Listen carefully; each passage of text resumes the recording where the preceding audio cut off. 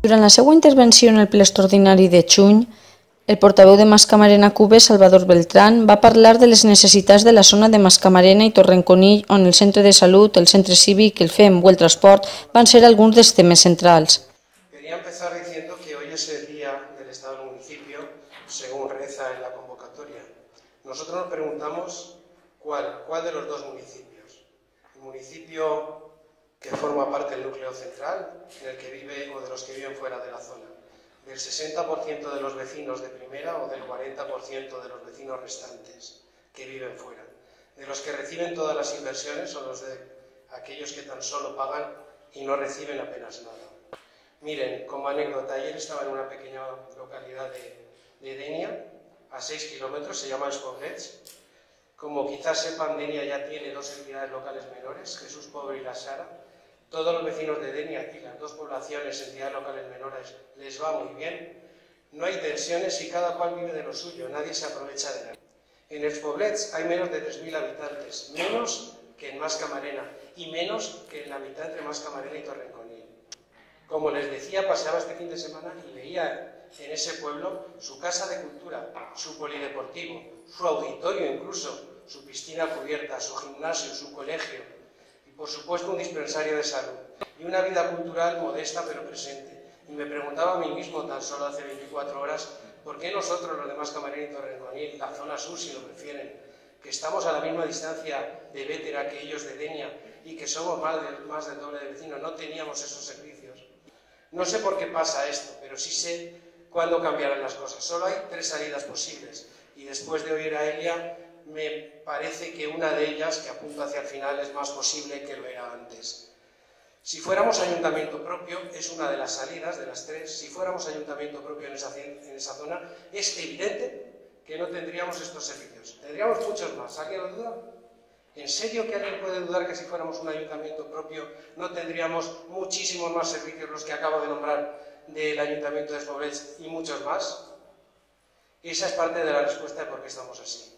Otra de las posibilidades, la segunda, es que tengamos fuerza suficiente para imponernos. Solo nos respetarán este equipo de gobierno cuando necesiten nuestros votos a nivel político. Si no nos necesitan, nos marginarán. Es lo que han venido haciendo durante los tres años.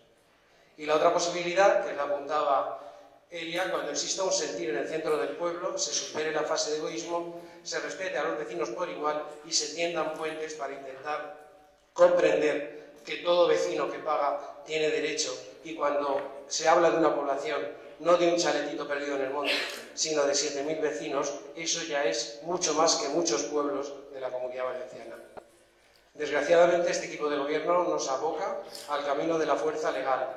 Legal, pero la fuerza. No hay democracia al respecto. A las minorías se les aplica el rodillo. Nosotros somos minorías y como no nos necesitan, sencillamente se nos aplica el rodillo. Los votos están donde están y el perfil del votante no está allí, donde nosotros vivimos. Moción para que no se pague la tasa especial de basura en Más Camarena, después de décadas pagando, que nosotros hemos evaluado en casi 400.000 euros. Y sabiendo que estos cálculos del Ayuntamiento de Coste eran erróneos, pese a todo, resultado de la votación, no. Se impuso una tasa de basura en Más Camarena, cosa que no pagará además del pueblo. No, no hay centro de salud, señores vecinos.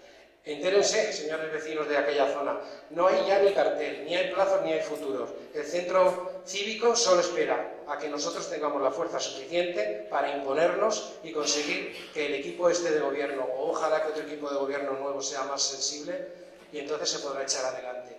Y como antes decía Elia, un colegio, por favor, es que estamos hablando de un colegio, de otro de los pilares del estado del bienestar antes mencionados. Ya nos han negado el de la salud, ahora el de la educación. Este ayuntamiento, y sigo con mociones, vende 13 parcelas con unos ingresos previstos de 1,6 millones de euros de la zona sur. Es algo así el territorio, eh, como si fuera el coltán en, en, el Congo. Son el mineral donde, que más valor tiene en la zona, el suelo. Pues bien, como pasa con el coltán, va alguien, lo extrae y se lo lleva afuera.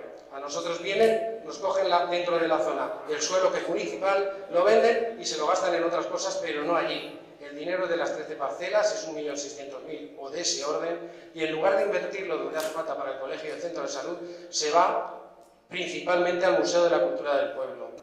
repetiré, aunque sé que no importan nuestras razones, que solo pedimos en la moción de constitución de la entidad menor la creación de una comisión de estudio, no pedimos la formación de una entidad local menor, porque sabemos que si estamos frente al poder no conseguiremos nada y solamente a la sombra del poder, pero el poder con mayúscula, el que ustedes ahora tienen, ejercitan y ostentan, y a veces con demasiada prepotencia, también sabemos que si estamos contra el poder tenemos poco que hacer.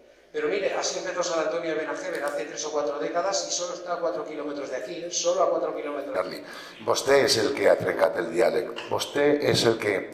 Eh, I li vaig a fer menció una pel·lícula que segurament con, coneixerà, que és La Ola, el que passa que cal veure-la en una visió crítica per a no caure en el que vostè fa.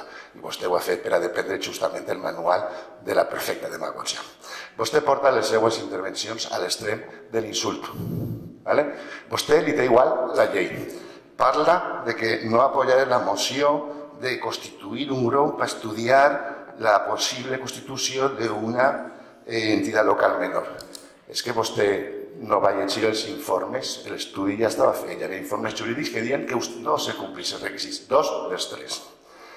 I a més de manera contundent i categòrica. I mos porta sempre exemples, com que a més de ser molt bonica i tindre platja, el millor és el que tindrien que demanar on hi ha tres entitats locals menors o dos, no sé quantes editat, però perquè compleixin els requisits que la diu. Però com a vostè no li preocupa el compliment de la llei, de manera insistent i obviant allò que no li xua al seu favor, pues, eh, ignora i repetís un mantra que com ja li dir una altra vegada, propi de, de, del senyor Goebbels. Fem d'una mentira, repetir moltes vegades i al final se convertirà en realitat.